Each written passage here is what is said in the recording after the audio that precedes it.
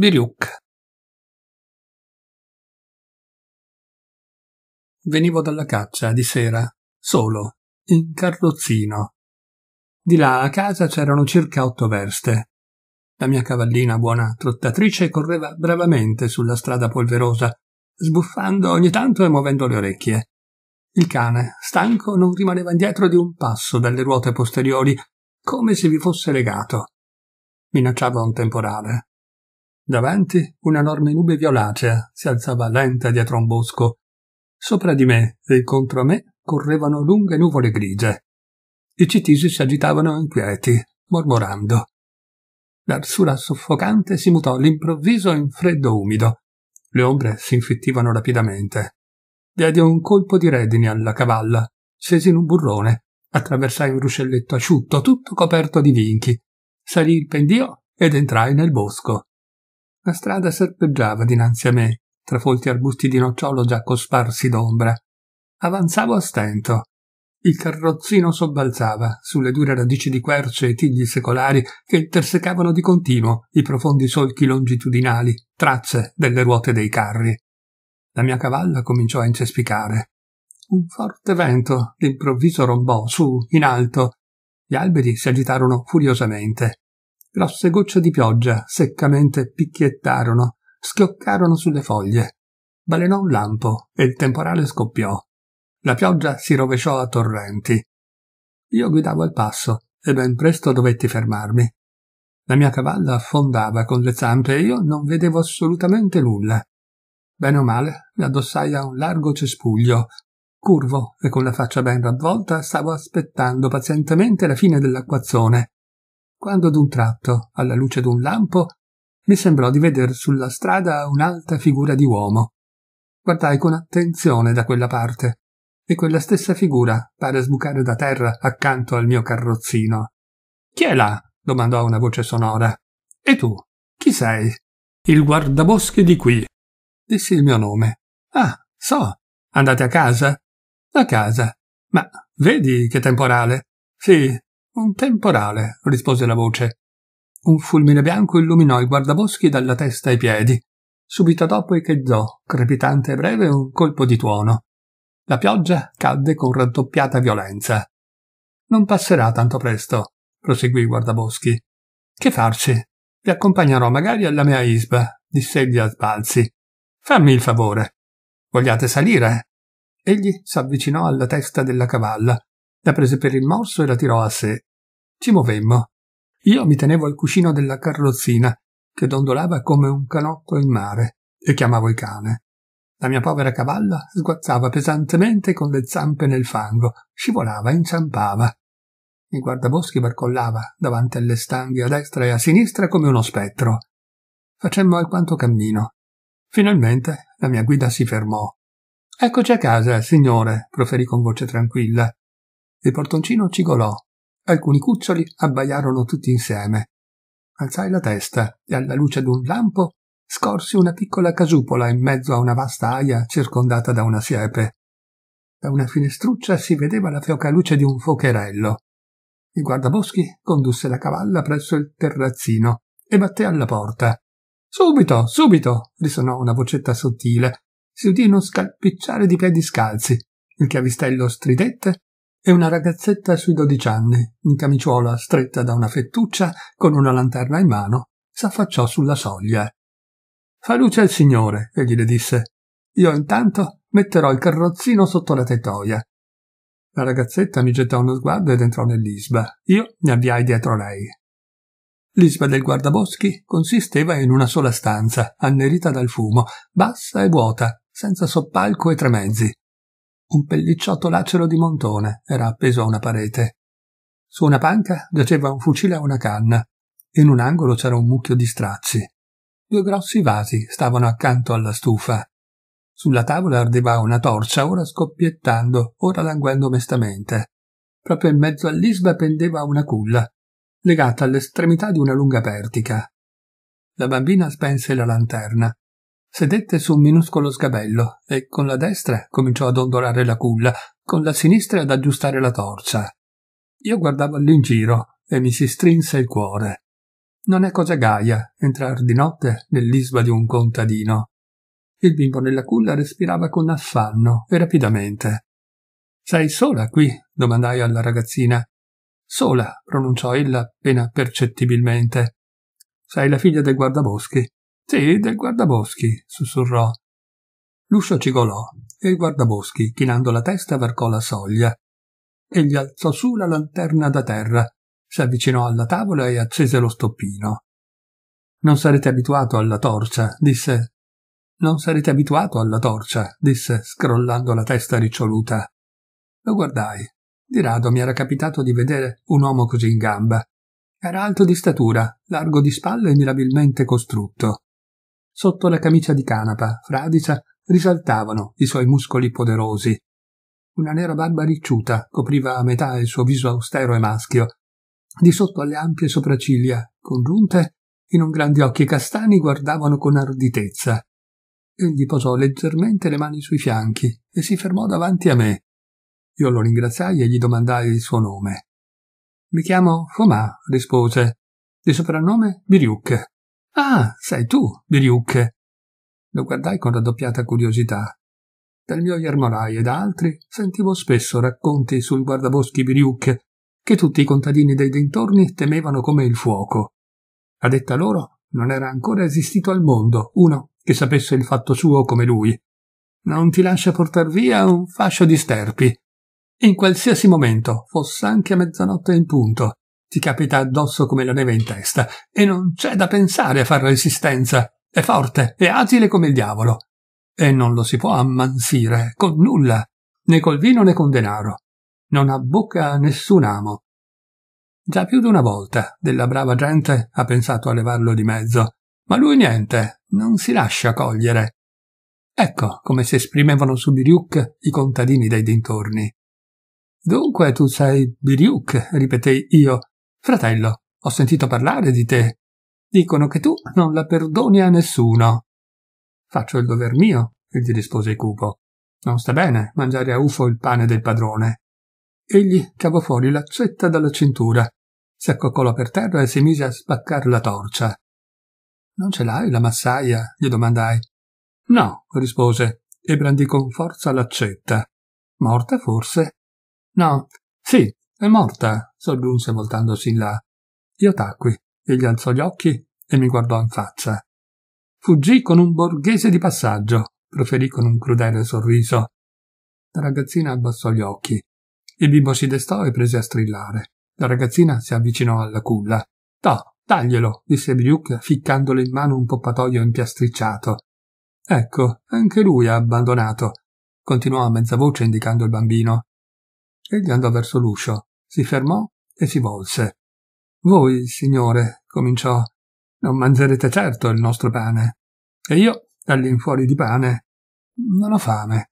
Beh, come volete. Vi avrei preparato il samovar, ma non ho del tè. Vado a vedere che fa la vostra cavalla. Uscì sbattendo la porta. Io mi guardai attorno un'altra volta. L'isba mi parve ancor più malinconica di prima. L'odore amaro del fumo raffreddato mi opprimeva sgradevolmente il respiro. La ragazzina non si muoveva dal suo posto e non alzava gli occhi.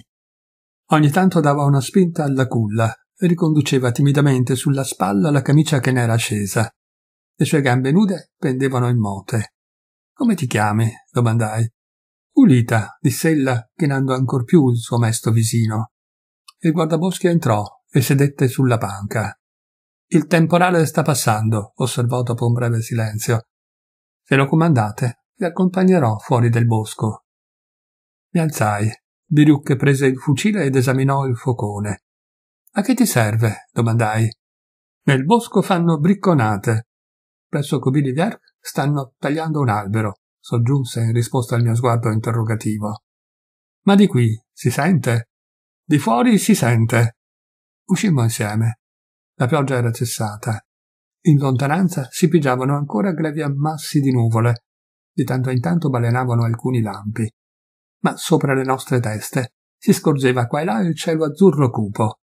Delle stellucce palpitavano attraverso le nubi rade che si spostavano veloci. I contorni degli alberi spruzzati dalla pioggia e agitati dal vento, cominciavano a sporgere dalla tenebra. Ci mettemmo in ascolto. Il guardaboschi si tolse il berretto e si chinò verso terra. Eh, ecco, disse d'un tratto e stese il braccio. Beh, che nottatina è andato a scegliere. Io non sentivo nulla, fuorché lo stormire delle fronde. Biriuk condusse la cavalla fuori dalla tettoia. Ma così, soggiunse ad alta voce, c'è il caso che me lo lasci scappare. Verrò con te, vuoi? Va bene, egli rispose, e fece tornare indietro la cavalla, a ritroso. Lo coglieremo in un amen, e poi vi accompagnerò. Andiamo. Ci avviammo, Biriuk davanti ed io dietro a lui. Dio lo sa come riconoscesse la strada, ma egli si fermava solo ogni tanto e unicamente per porgere ascolto ai colpi dell'accetta. Ecco, borbottò tra i denti. Sentite? Sentite? Ma dove? Biruk crollava le spalle. Ci calammo nel burrone. Il vento ci chetò un istante. Al mio udito giunsero nettamente dei colpi cadenzati. Biruk mi lanciò un'occhiata e scosse la testa. Proseguimmo oltre, in mezzo alle felci bagnate e alle ortiche. Risonò un sordo scroscio prolungato. L'ha abbattuto, mormorò Biliuk. Intanto il cielo continuava a schiarire. Nel bosco c'era appena appena un barlume di luce. Aspettate qui, mi bisbigliò il guardaboschi, che si chinò e alzato in su il fucile scomparve fra i cespugli. Io lo ascoltai in uno stato di tensione. Attraverso il continuo rumore del vento mi pareva di percepire non distante dei deboli suoni. Una zetta picchiava guardinga sui rami. Delle ruote cigolavano un cavallo sbuffava. Dove vai? Ferma! tuonò d'un tratto la voce ferrea di Biriuk. Un'altra voce gridò, lamentosa, simile allo squittio di una lepre. Incominciò una lotta. Vaie, vaie! ripeteva ansando Biriuk. Non mi scappi! Io mi gettai in direzione del rumore e accorsi, incespicando ad ogni passo sul luogo della lotta. Presso l'albero abbattuto, in terra si dimenava il guardaboschi. Egli teneva il ladro sotto di sé e con la cintura gli legava le mani dietro il dorso. Mi avvicinai. Biriuk si alzò e mise l'uomo in piedi. Vidi un contadino fradicio, in censi, con una lunga barba arruffata. Un misero cavalluccio, per metà coperto d'una ruvida stuoia, stava lì accanto, insieme col traino. Il guardaboschi non diceva una parola. Il contadino pure stava zitto e non faceva che scuotere il capo. Lascialo andare, bisbigliai in un orecchio a Bariuk. Per l'albero pagherò io. Bariuk in silenzio prese il cavallo per il ciuffo, con la sinistra. Con la destra teneva il ladro per la cintola. Su, muoviti, cornacchia, disse ruvidamente. Prendete l'accetta, eccola lì, borbottò il contadino. Perché dovrebbe andar perduta? disse il guardaboschi e raccolse l'accetta. Ci avviammo. Io camminavo dietro. La pioggia aveva ripreso a cadere e ben presto venne giù a torrenti. Raggiungemmo a stento l'isba.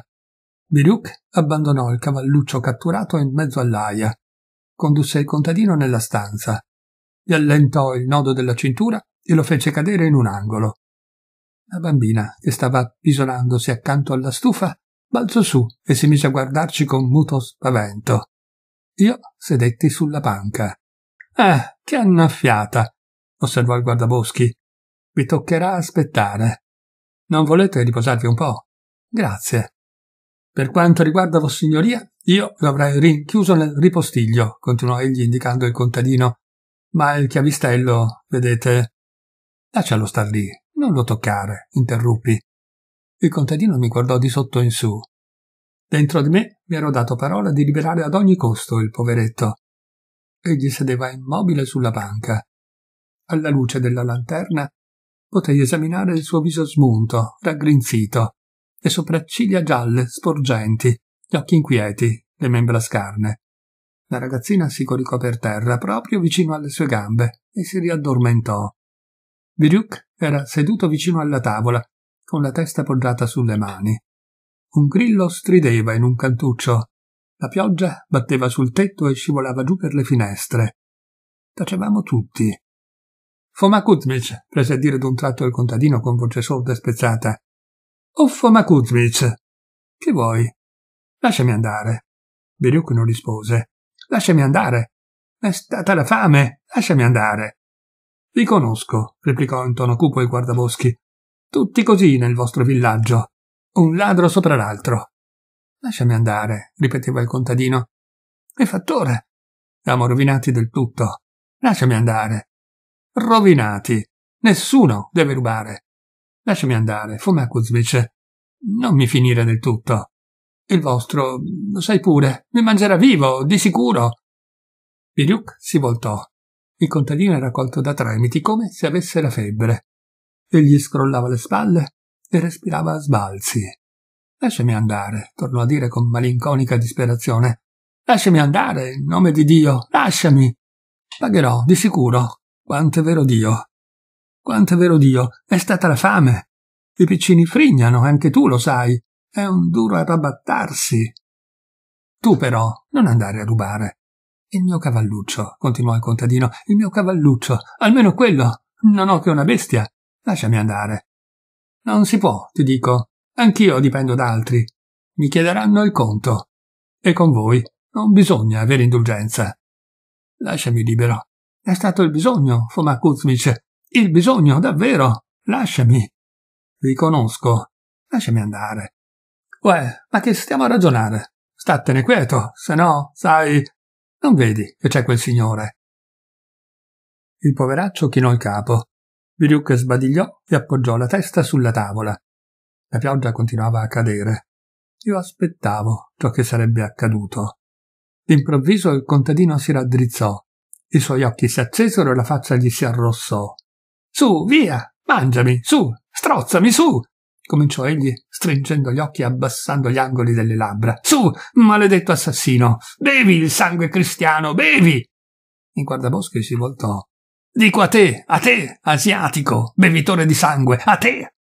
Hai ubriaco, forse? O ti salta in mente di ingiuriare? disse con stupore il guardaboschi.